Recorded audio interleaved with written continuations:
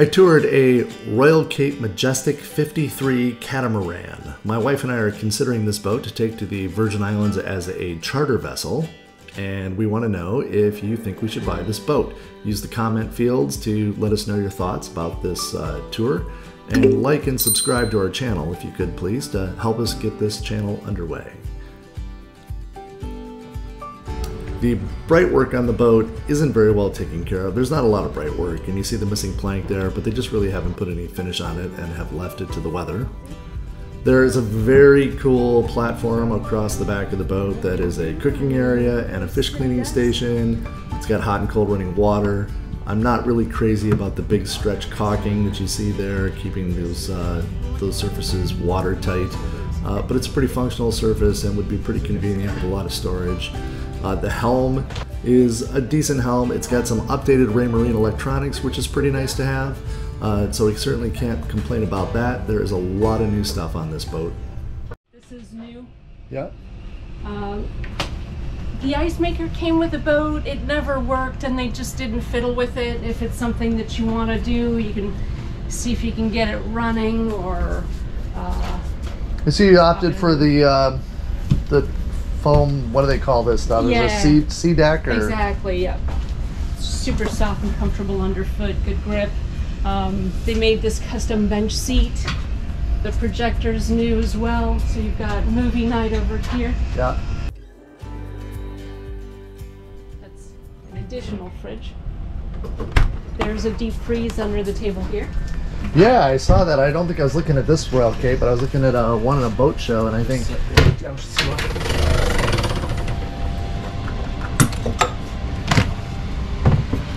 So you can be self-sufficient in the For the beer. Stock up at Yeah. Yeah, it's perfect. What was inside. it? Touch. oh yeah, Very, very Yeah, cold. yeah. Ah, that freeze. So a fridge section and a freezer section. That's in addition to the refrigeration inside. Yeah. It's got that new LCD projector screwed to the hard top, and it's coupled with a pull down projection screen that you can pull down in front of those doors if you want to have a movie night or work on your computer. It's got a good surround sound system built into the pillars there. Lots of comfortable seating around, or at least places for a bunch of people to have kind of a movie night. Uh, there's a stand, another seating over there that's like a helm station, but there's no helm on that side. Uh, the surfaces are just looking a little tired. It is a 2009 boat, but you can kind of see that they're not terribly clean. They're in okay shape, serviceable, but i- it's what you're going to expect for a boat from this age. These are very cool boats. Yeah.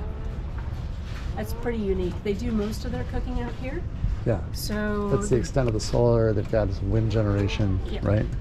and the panels up top. on Were the- there some panels up there that I missed? Yeah. I didn't look at. It was reported at 1500 kilowatts of uh, solar power that comes into the batteries. The uh, cushions in the cockpit look to be in excellent shape. It's got that brand new washer and dryer, but on the right hand side, that fridge isn't working. Uh, so that's something to consider there. And now we'll walk forward and take a look at the foredeck. It's got the big heavy rails that we liked on the custom 50 Stella Mars. The only other bits of bright work on the boat are the dolphin seats and that center gangway that needs some finishing. And that anchor chain is pretty rusty. There might be a little bit of an investment to be made there. Lots of foredeck space.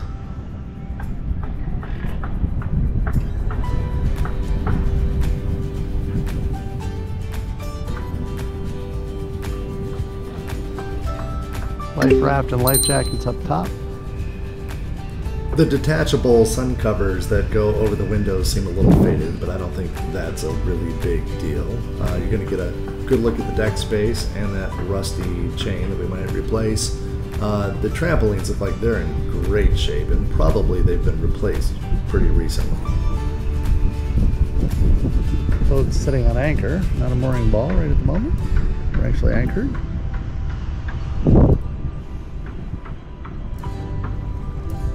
Winch controls.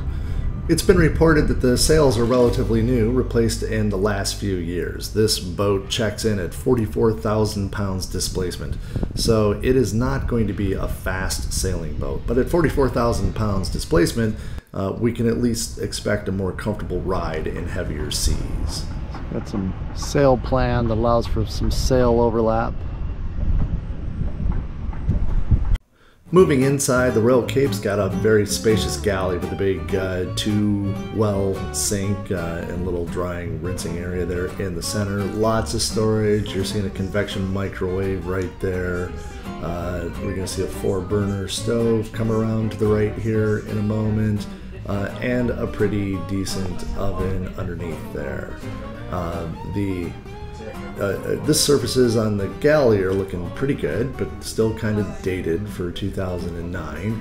Uh, and when we get to look at the leather in the main salon seating, it, it's it's in good shape, but it's just looking a little tired, and a little worn, and that might be an area of investment. The table opens so you can seat as many people as, as you can sleep. Yeah, we could get a whole crew for sure. Yeah.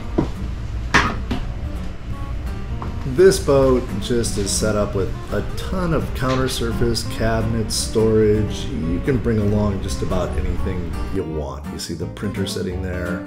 There's great, uh, nice spice rack and places to hang fruit. And my biggest fear is I think that 44,000 pounds of of displacement tear could easily turn into 88,000 pounds of displacement fully provisioned.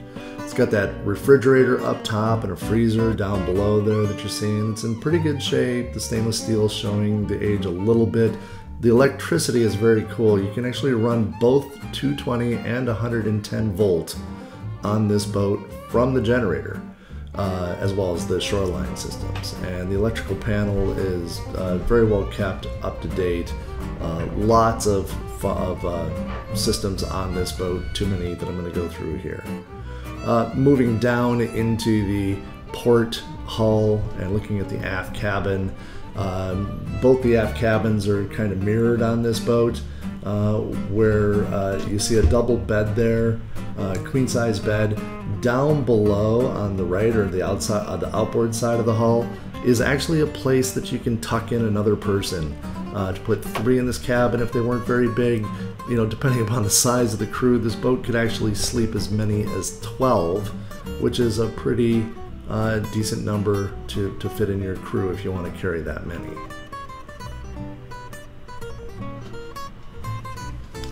This is the ensuite head. Take a quick look at that tile. We're going to talk about that here again in a second. And then we're going to step forward from the aft cabin through the midsection into the midship dressing area for the owner's cabin.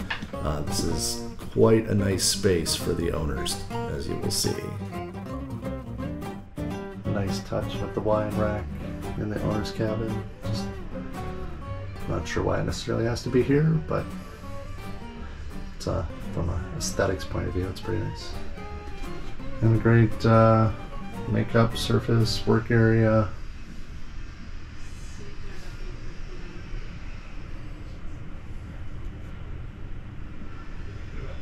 There's something spongy right here. The floor has been damaged, subfloor. It's not stable. Maybe some signs of the water damage. I wonder if uh, that's going to be the shower and the head up there. I wonder if things maybe got wet and ran out here, got in there. Oh yeah, pretty spongy here. The Royal Cape 53 has got one of the largest owner's cabin of any boat that I've seen, of its size anyways, and it's got this massive king size bunk area uh, with a lot of headroom even in the bunk. You could set up quite easily in the bunk and not bang your head there. Uh, and it's got this grand uh, gangway where you climb up and down that gives the, the cabin a very stately feel to it uh, and provides a lot of storage underneath as well.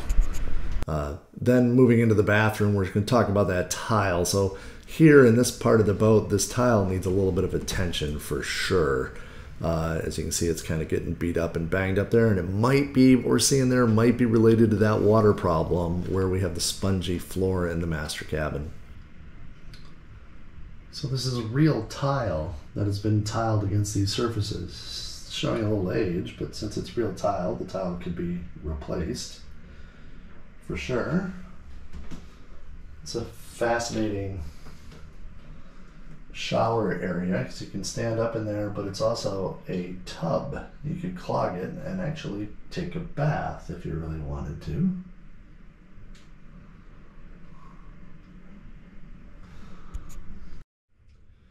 Not certain if it's just hasn't been cleaned or whether that dirt has been embedded, but there the fiberglass isn't particularly clean.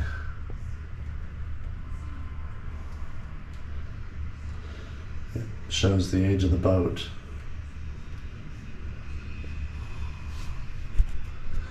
Some indication of mold growing in the ceiling. So I have a feeling that's probably they use this shower. And if they don't get this hatch open for some reason because they're running the air conditioning, then when they use the shower, there's obviously no vent in there. So if they're using hot water, all the steam's just going to roll out into here. And that's what's going on there. Of course, the mirror showing a little bit of uh, water damage too coming in there.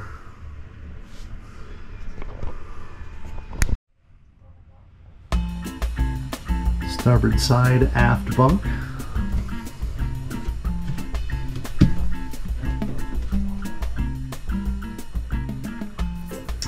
Got two teenage girls on board going back to land.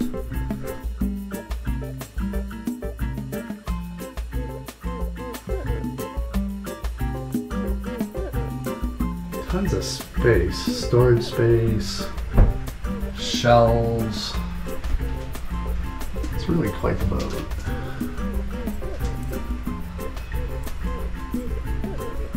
The starboard hull has a slightly different configuration from the port side hull, which had the owner's suite. Uh, this hull has a midship cabin and head built into it for a fifth cabin. Again, this boat could potentially sleep as many as 12 people. We've got the This is the cabin. starboard hull midship cabin. Wet head. Forward one they're using is a tool room right now, I which is great, plenty of storage. Uh, there is room enough in all these lockers to put that all away if you wanted to. Oh yeah, there's a ton of So space on if this you're boat. chartering the boat, you want that. The midship cabin is not as big as the other cabins. I think this is a little smaller than a queen, maybe like a double, but uh, two people that knew each other pretty well could probably function in there, or one teenager maybe. They do have a lot of stuff stored in that forward cabin and the forward head that we'd have to get cleaned out so we can make sure we can inspect any, everything. And I've got to wonder where that mattress is because it certainly wasn't on the boat. So we might end up needing to put a new mattress in that fore cabin.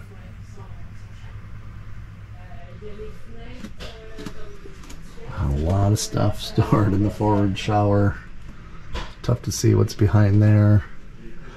Get more indication of mold and dirt and things like that all around. But it doesn't smell. No odors. Seems like a dry boat. Yeah,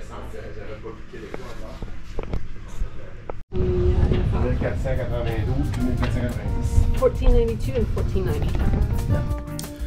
So the mechanical is really on the newer side, as you heard, replaced in 2018, both engines with well under 2,000 hours, and the generator replaced about the same time, and it also has less than 2,000 hours. Uh, so uh, they were in pretty good shape. They weren't super clean uh, mechanical spaces. Uh, you're going to see some running rust there, but I think that was attached to an old system that was leaking and got replaced. You can kind of see the old brackets there, and I think that that's what that is, and it's been fixed. Um, so that's the tour. Let us know what you think. Should we buy this boat? Would you Would you buy this boat? Uh, what are the things that we should look for? Uh, please use the comments. Drop us a line. Uh, and let us know if this is the boat that we can take people chartering on in the Virgin Islands. Thanks for watching, and we'll see you again soon.